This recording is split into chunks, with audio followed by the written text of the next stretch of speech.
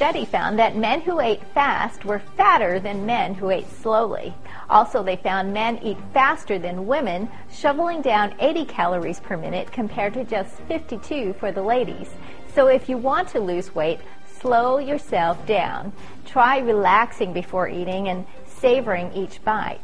When you're stressed, you tend to eat fast. Use smaller utensils or chopsticks and take sips of water between bites. Staying hydrated will also keep you from confusing dehydration with hunger. Add hot sauce or fiery spices. You'll drink more water and pay more attention to textures and flavors.